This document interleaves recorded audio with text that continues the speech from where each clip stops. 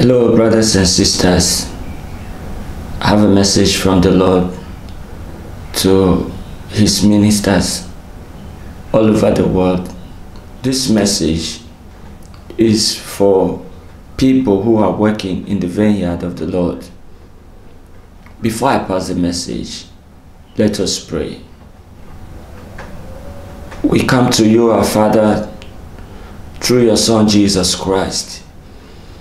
This is a message that you have given to me. I pray, our Father and King, help me to pass it out.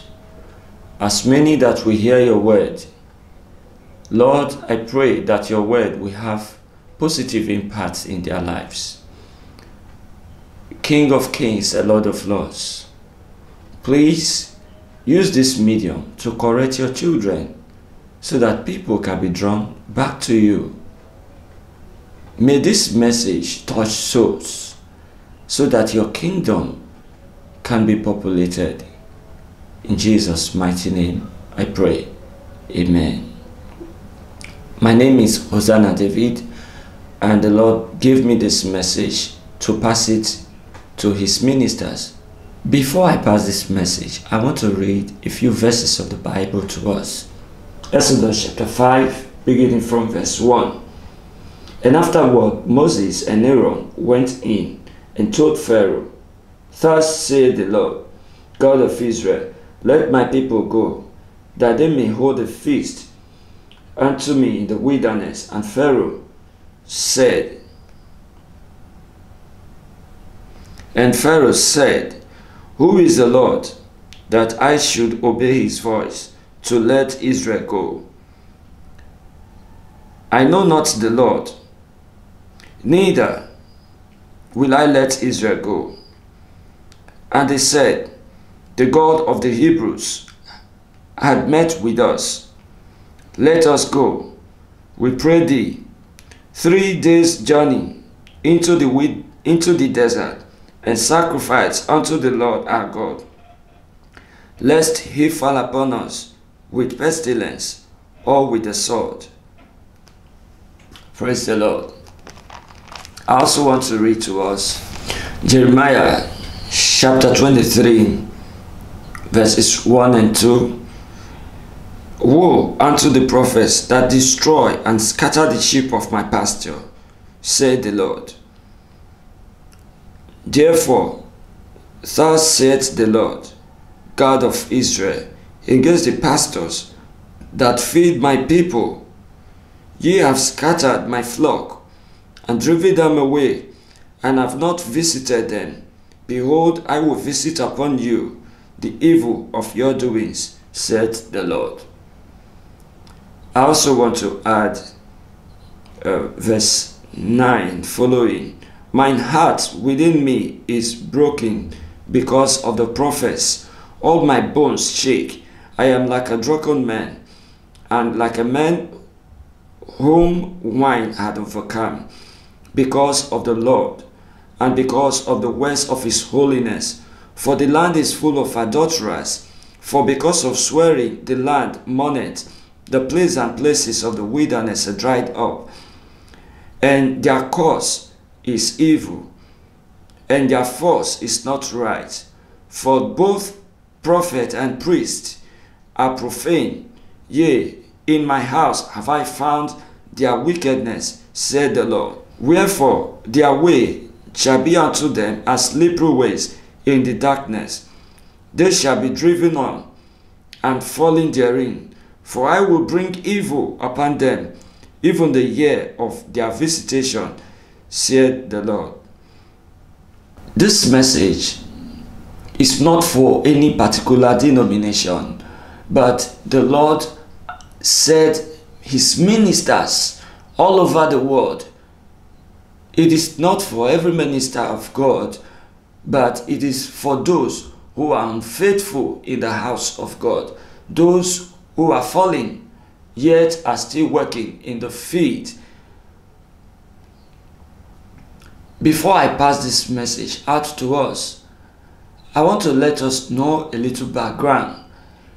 I had a dream on November 20, 2001, And in this dream, we were in a church. A minister of God was preaching, and he was saying, Where are the fruit bearers? When I looked, I looked back and I searched, I discovered that the fruit bearers were no more. And I started crying. I was weeping and I was crying that, ah, where are the fruit bearers? When I woke up, I asked myself, what are the fruit bearers? I did not have much understanding about the dream. Not until 2005 that I actually uh, received the call of God and God told me some things about the state of the church that the church has fallen.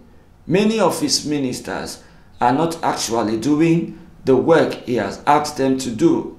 That many of them are just making noise all over the places, but they are no longer faithful to him. That there are lots of false prophets who are proclaiming false doctrines and leading people into hell. Late 2016, the Lord told me that there is a message He wants me to pass on to the world. And He gave me the words of the message. And while He was telling me, I had to write every bit of what the Lord told me down because the, the, the message is heavy and I, I didn't want just to pass it out from my own memory, but I had to put everything down as the Lord has commanded me.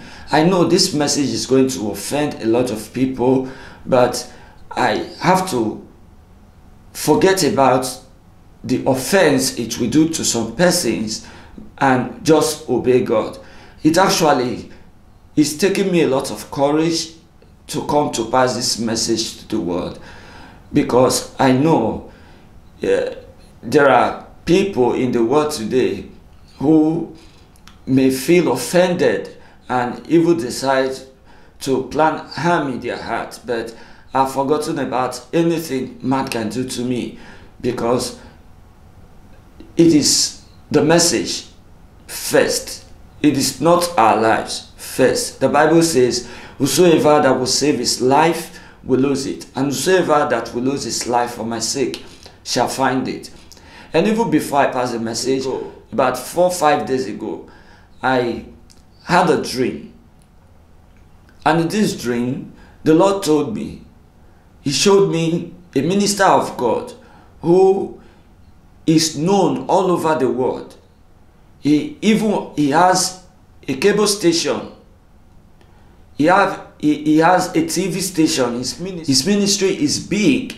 He has once held a national position uh, in this country he, he has once held a national position in the christian association of this country nigeria and the lord showed me and said look at this man he has fallen. He is going to hell. He's leading people to hell. And I said, God, okay, let me go and tell him. Let me inform him that he is going to hell and that it's not working for you. And God said, I have sent many people to him. I have asked him to repent different occasions, but he refused to repent. The worst part of it is that whenever people go to him, he fights them. And I said, God, that I can write anonymous letter without my name and said it to him.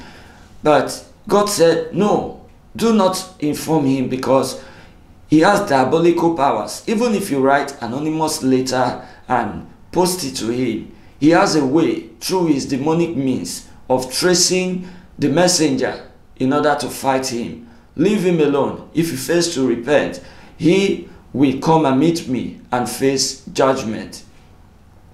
Brethren, this is the situation of the church today. It is just a few, few individuals that are actually doing the work of God. There are thousands of ministers of God who are falling and are deceiving people, and messing up the gospel of Jesus Christ, and sending people to hell. Now, I want to pass the message to us the same way I received it. The Lord told me that there are three major sins of today's pastors and false prophets. Here are they. The Lord said, You have erased the memories of heaven from the hearts of my children. This is because you yourselves do not have heaven in view as your focus. Material prosperity is your focus. Many of you know that you will not enter heaven and have given up all hopes. As a result, you have resolved to enjoy your life to the fullest. 2. You have left the true gospel I gave you to preach. 3. You have covenanted yourselves with the devil. Hear what the Lord says, you Pharaohs. Because you have done this, I will not prepare your punishment in a hurry, but I will carefully fashion your place of torment according to the degree of the sorrow of my heart. Because you have killed and slaughtered those I sent to you to call you back to myself, and you do not listen to my word that I give to them, I will repay you by giving everlasting deafness to your cry in hell. Today is your day. Tomorrow is my day. I shall give life and order to the idols you serve on earth, and they shall torment you forever. Also, the souls you deceive shall team up in hell to torment you. In hell, they shall repay you double for your wickedness and deception. And the Lord made me to understand some things. And He told me there are lots of ministers, many, many ministers, many who call themselves pastors, many who call themselves bishops, many who call themselves archbishops, many who call themselves prophets. The Lord told me many of them were actually possessed while they were young. That many are possessed with the spirit of witchcraft. Some of them are possessed with marine spirits. And this is what the Lord says concerning this category of persons. Many of you say, I grew up to realize that I was possessed. And I decided to use the power to do good and also work for God. But this is what the sovereign Lord says to you, O man. Can a man serve two masters? You cannot drink of the cup of the Lord and the cup of devils. You still have the opportunity to repent now, and I, Jesus Christ, will deliver you and come and live inside of you through my spirit. But if selfishness causes you to shut me out, I will also shut you out of my kingdom that is at hand. Then the Lord said, Today I lament and bewail my ministers, because many of them have become rebels. They have become unto me as pharaohs. This message shall be the last warning to some of them. Some shall not live to hear this kind of warning again. I am already standing at the door waiting for them. And the Lord showed me two heinous crimes of these false pastors and prophets. You fight against my servants that are faithful to me. Out of hatred, you fight and kill those who have my true spirit. You condemn those I, Jesus, sent to warn my children. You end up dragging their names into the mud by accusing them that they are possessed. You do this because you hate correction. You gather my people and you lead them to your Lord and Master Satan. If you had not kept them in bondage in your Egypt, where you feed them with lies, their, their hearts would not have been hardened against me, their Creator.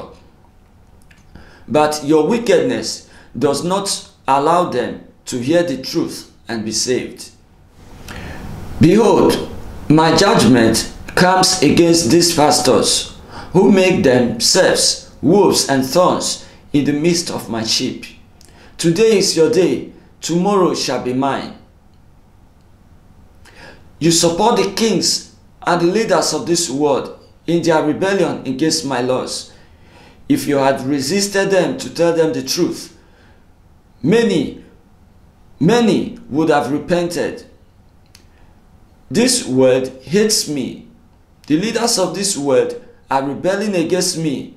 The kings of this earth have turned their backs on me. Yet many of my pastors do not see anything wrong with their rebellion. And because you team up with the kings of this earth to rebel against me and obey Satan instead of me, you shall spend eternity with these same kings in the lake of fire. In hell, you shall remind me of my mercy, but I will not listen. Assess my mercy now, if you really need my mercy. What is this altar that you have erected in my house? You say, We have not erected any altar besides your altar, O Lord. But why do you allow Jezebel to erect the altar of sexual immorality in my house? You have helped the altar of sexual immorality to grow by the reason of your sacrifice of lawlessness upon it. I have no delight in casting anyone into hellfire. This is why I bring my warnings and judgments to you here on earth now that you are that you still have the opportunity to repent. Now answer me, you pharaohs, when you go to covens and demonic altars to get powers, is it for the goodness of my church? Where in my word is it written that those who work for God must belong to secret courts? But you have made it mandatory for yourselves to join satanic courts in order to get powers, protection, wealth, and fame. You have even used your demonic wisdom and deceptive powers to initiate your fellow pastors into saving demons. My wrath will soon catch up with you like lightnings. When you sacrifice one soul in order to get power to save 100 souls, does that make you not guilty of murder? Do I not command you that you shall not murder? Exodus chapter 20, verse 13. Which God do you offer human sacrifices to? Do I need human sacrifices? You kill and sacrifice human beings to demons in the secret, and in the open, you put my holy name upon your lips. The same lips with which you drink innocent blood and proclaim without fear, We are the servants of the living God.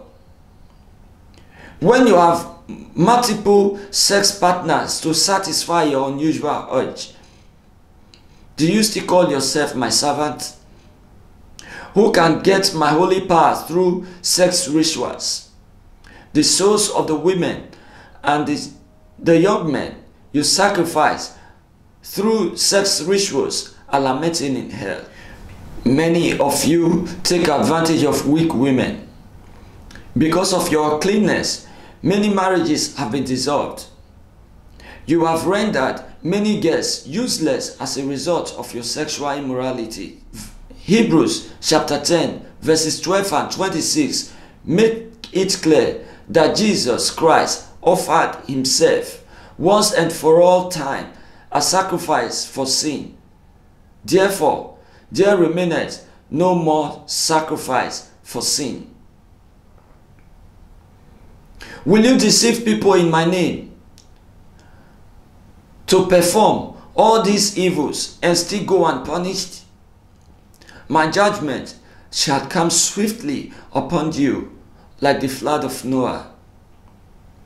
How can you take your stand to chase away Jezebel and rebuke her daughters who come into my house half naked with sensual dresses when you are on assignment for the devil who is your master and God?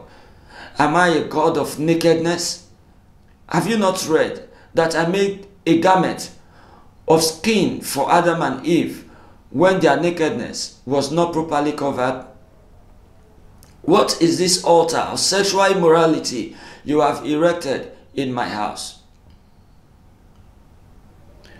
Brethren, it is very painful today that those who are made shepherds in the house of God, many of them don't actually know their work. It is painful that it is difficult to differentiate those the Lord says, You are the light of the world. It is difficult to differentiate many of them from those in the world. A Christian going to church in this our generation can dress like a club girl, can dress like a club guy. It is painful. It is painful. Sometimes I weep for the church. It is painful that these people, these false pastors, are leading people into hell. I was in church during one of our Friday fasting program, and sleep came upon me And then the Lord revealed to me a female putting on bump shot. And I saw a wedding ring. This lady was putting on a wedding ring. And I saw the bomb shot. I didn't see the face. And I, I heard the voice of God. The voice was so serious. It was full of anger. And the Lord said, these people will never, never see my face. And I woke up. Please, those who are church members, don't go to hell. Many of these pastors are on their way to hell. They know they are going to hell. It breaks my heart. Please, don't go to hell. In Matthew chapter 24, where Jesus talks about the signs of the end time and his second coming, he did not make mention of Satan, but he talks about the activities of false prophets. False prophets today and false teachers they are of a greater threat to Jesus than Satan himself. Please, don't follow these people. Come out of far, my people. That is what the Bible says. Come out of far, my people. When some of you give Holy Communion to your church members, is it to the remembrance of my death? If you do it because I command you to do it, why do you offer it to idols first and pollute it with demonic powers? These substances from covens are they ingredients of the communion of my body or my blood? Why do you bewitch and enslave my children with the Last Supper that is for the remembrance of my death? Why do you exploit my people and milk them of all that is called spirituality and give them worldliness. If you give my church another blood instead of my blood that was shed for their salvation and redemption, then be ready to show to me the Savior whose blood you offer to my sheep.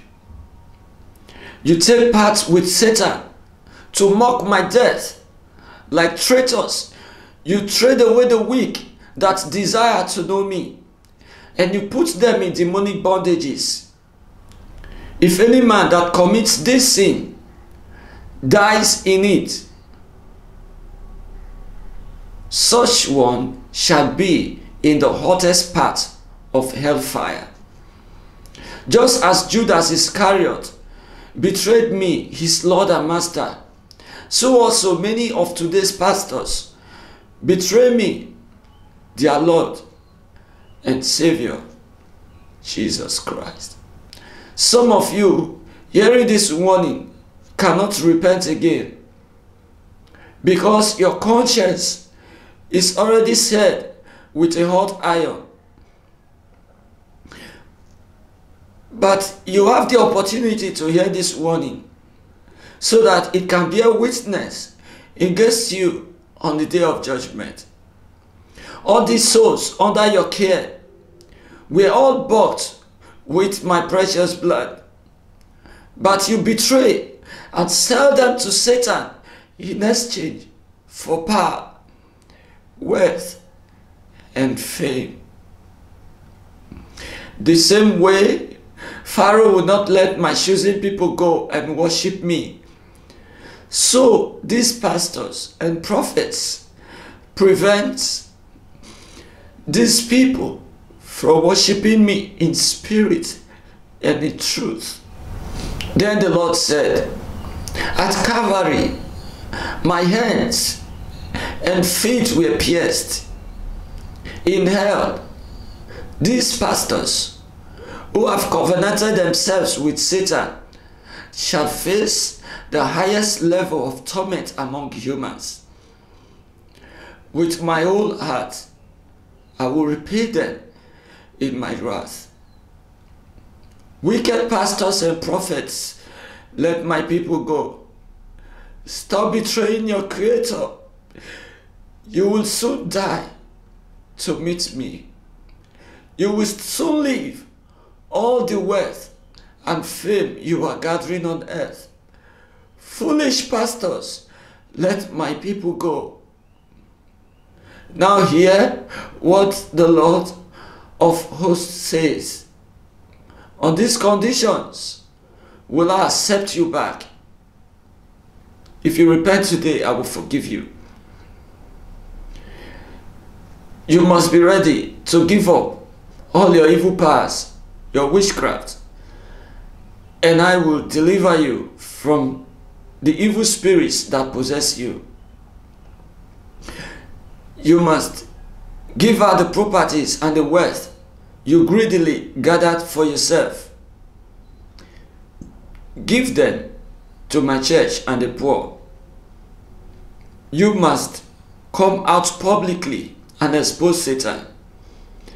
You must tell the whole world how the devil had previously used you to deceive people. You must then start preaching holiness and righteousness. In doing this, you will save some of those you have hardened their hearts against me. You must live a holy and righteous life and walk before me in truth and righteousness for the rest days of your life. If you cannot do this, the mercy of God you rely on shall fail you on the day of judgment. Have you not heard that it is only the merciful that shall obtain mercy?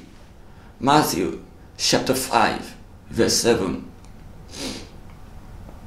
Shall I be merciful to a merciless pastor? whose heart was not touched by the thousands of souls that are perishing. No. If you want to assess my mercy, on the day that you must stand before me to give account, then you must be merciful from today. This is mercy. That your heart be touched by the souls of the perishing. This is mercy. That you tell them the truth that God is holy and everyone who names the name of the Lord must depart from evil.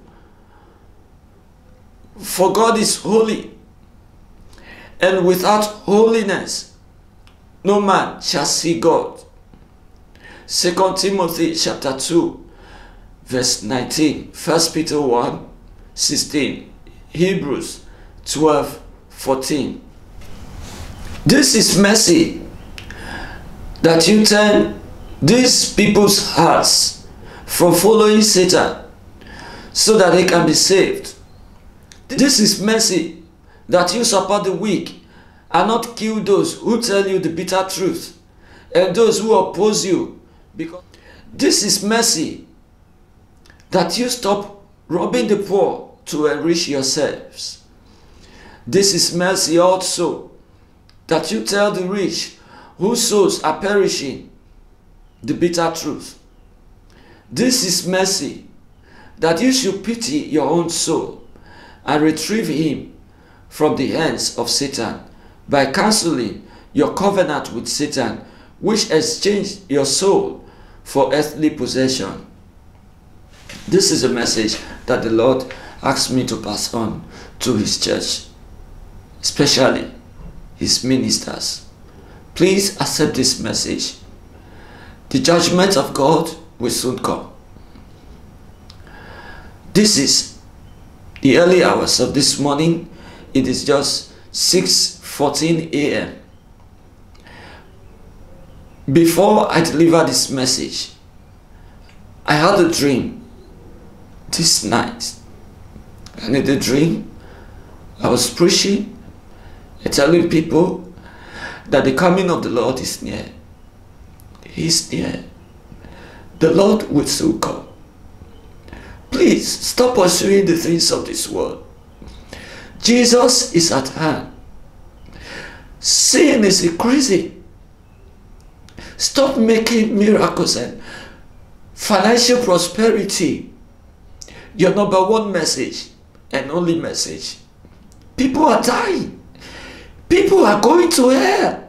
Thousands of souls are perishing. People are going to hell. Please repent. You may be known all over the world as a minister of God, but if Jesus doesn't know you, if the Father does not know you, of what good is that to you? If the Lord tells you on the last day, depart from me, you workers of iniquity, of what good is that to you?